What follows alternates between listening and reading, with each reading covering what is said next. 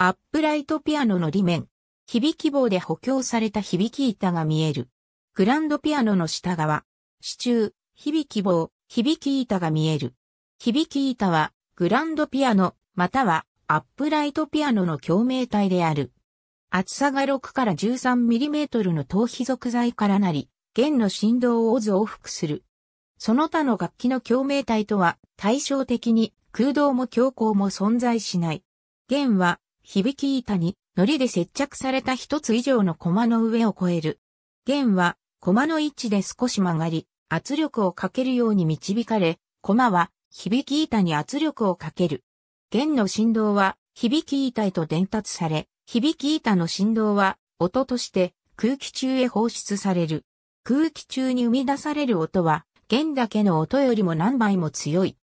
したがって、音に関して決定的な役割を担うのは、木材の品質、正確なコマの圧と、アーチ型の部分であり、これらは、ピアノ職人が、長年の経験と、伝統から真っ先に獲得するものである。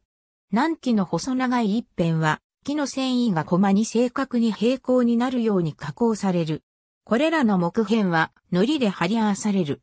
このようなわけで、割れを防ぐために長期間保管したスプルース材を使用する必要がある。糊付け後、響き板の形に成形され、必要な厚さを達成するために余分な部分が削られる。一定の湿度と温度の条件で、再び保管することで寿命が伸びる。多層合板で作られた響き板も割れることがないため、安定であるが、最適な音を得ることができない。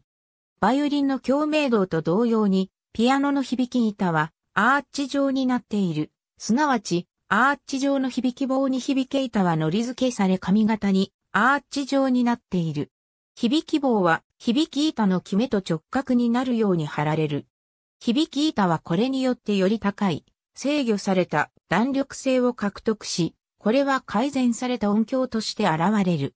上実した様々な工夫にもかかわらず、響き板の割れが起こる。割れは楽器を使用不能にするという一般的な判断は、割れは響き板の大きさに対する割れの大きさに比例して弦の振動を増幅する能力が小さくなるだけであるという意見に反している。製造業者とピアノ職人は異なる修理方法を提供している。響き板割れを防ぐためには適度な湿度が保たれるよう、部屋の環境を管理することに特別な注意を払うべきである。